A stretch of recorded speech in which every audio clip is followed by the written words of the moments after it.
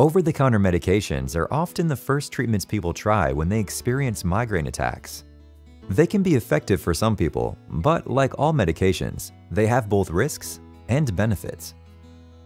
As with other acute migraine treatments, over-the-counter medications usually offer the most relief when taken at the first sign of a migraine attack, rather than when an attack is in full swing. The most common over-the-counter medications used for migraine attacks are acetaminophen and non-steroidal anti-inflammatory medications, also known as NSAIDs. NSAIDs like ibuprofen, aspirin, and naproxen can provide relief for mild to moderate attacks by blocking specific enzymes to reduce pain and inflammation.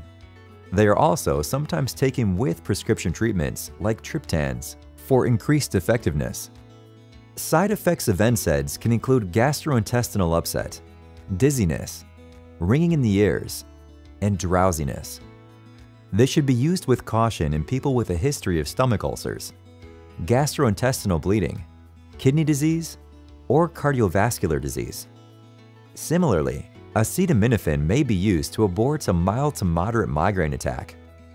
It has many effects in the body, some of which are not fully known, but the end result is less pain. Side effects of acetaminophen include nausea, vomiting, insomnia, and headache. It should be used with caution in people with liver disease. Several over-the-counter migraine and headache medications combine aspirin and acetaminophen with caffeine. Caffeine narrows the blood vessels in the brain, acts as a pain reliever, and increases the absorption and effectiveness of acetaminophen and aspirin. Side effects can include nausea, vomiting, nervousness or jitteriness, and insomnia. An important consideration is that other medications containing acetaminophen or NSAIDs should be avoided when using these combination formulations, and caffeine consumption should be reduced as well.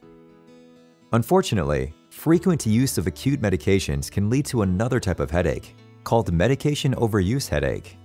This can occur when NSAIDs or acetaminophen are used 15 times or more per month for at least 3 months and 10 times or more per month for at least 3 months for aspirin acetaminophen caffeine combination medications.